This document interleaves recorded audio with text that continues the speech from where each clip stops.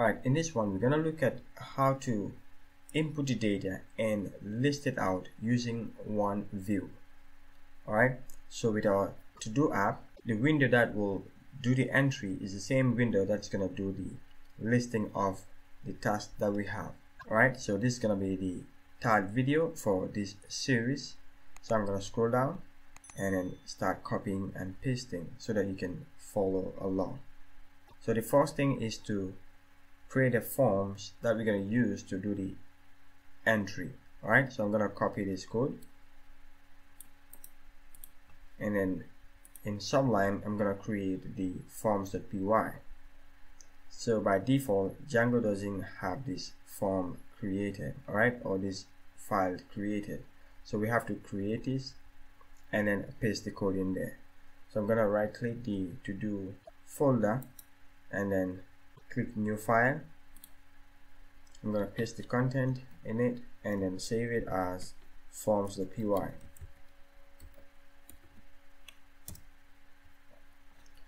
okay so this is what we have as a form. So you're gonna have two fields. The first field will be the title and then we're gonna have the due date all right so I'm gonna save this and then move to the next step so in this step, we're going to create the view, right? So this view, like I said at the beginning, we're going to use this view to list out the data and also input the data. So we're going to have the forms that will do the entry of the data and the query set will list out the data and then render it on the browser. So I'm going to copy this and then paste it in views.py. okay so I'm gonna move this to import to the top Alright, so since we're using uh, redirect here, I'm gonna import redirect as well. What this list is doing is it's gonna render out the data and we're gonna use that right here, okay? And we're going to use the form to input the data. So once the form is validated it's going to save the entry or whatever we put in the form and then redirect us back to the home page. And we're going to use this as our home page. So we're going to create a list underscore task.html template. That's going to be the next step. Alright so that's the content of the template I'm going to create a new folder within the app. So in the to do app I'm going to right click and then click new folder. And I'm going to name this folder templates. So within this template I'm going to create a false template. I'm going to click new file and paste the content right in there. So I'm going to save it as list underscore items dot html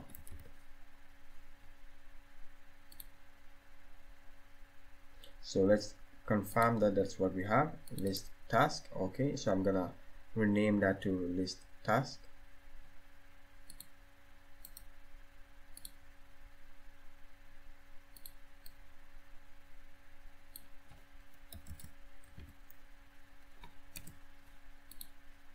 Without the s so I have to rename it again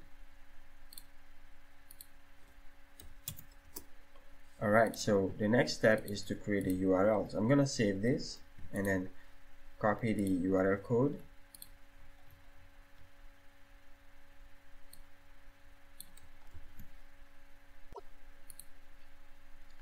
Right in urls.py. So this is located in the Django project folder, right? So I'm to open the URLs and then paste the code right here so the import will be moved all the way up. We're gonna import the the views right from the app to do. And then we're gonna use that view right here okay? So we're gonna reference this task or the list task view.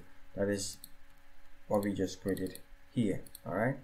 So I'm gonna save this and this will be the home page all right so when I go to the home page of this application so we're gonna list out the data all right so that's what we already created here.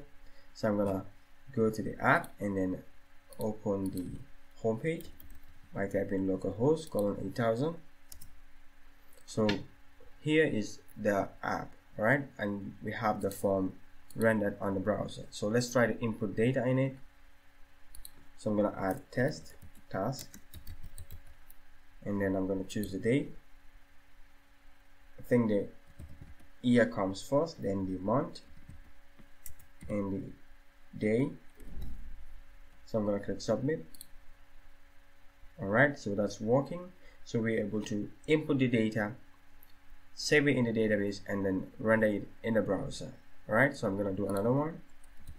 Test 2 I'm gonna type the year the month or the day. I'm not sure exactly which one but let's see uh, I'm gonna comment this so that we uh, saw exactly which one comes first. So I'm gonna use uh, a wrong date and then it's gonna give us the error. Alright so we are not redirecting and it's not giving us the error. Oh I need to I need to save it first I'm gonna click back and then click save again.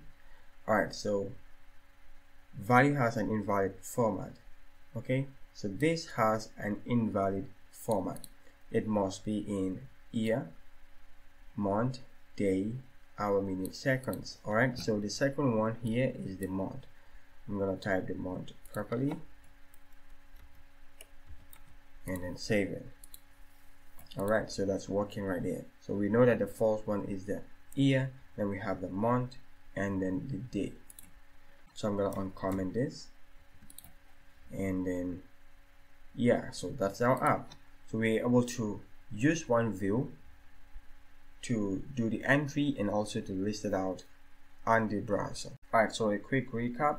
If I switch over to the Sublime or the text editor you have the views you have the URLs the forms and then the list template alright? So once the users come to the home page that will run the list task view okay? And that is the one that we created here. So once this is running it's gonna create a query set a variable called query set. And that's gonna go into the task.objects.order by. We're gonna talk about that when we start doing the ordering of the task okay so it's gonna go into this database or this table and then pick all the data in it and assign it to this variable. So once that is done it's gonna render the form it's gonna create a form and the form is what we created in the forms.py alright? And then it's gonna check if the form is posted or if the submit button is clicked. It's gonna try to save the data that was inputted in the form and then this context is what renders the data on the browser including the form. Okay? So when I open the list task HTML so this is what is rendering the data on the browser. So it's gonna render whatever we have in the forms for the views okay? And also the query set right? For task in task. If you look into the view right here we have this as task okay? So with the s right? So it's gonna have a variable called task. In task is gonna create a for loop. So for every single object in this variable it's gonna create a row for that object okay? So it's gonna list it out and then go pick another one and list it out until it finishes all the entries in a database. So that will create the listing on the template right here alright? And then it will end the for loop so this is how all these pieces fit together. So i hope you enjoyed this video. If you do don't forget to click on that like button. If you're not a subscriber and you enjoy videos like this you might consider subscribing so that you'll not miss our future videos. So if you have any questions you can put them in the comments below otherwise see you in the next video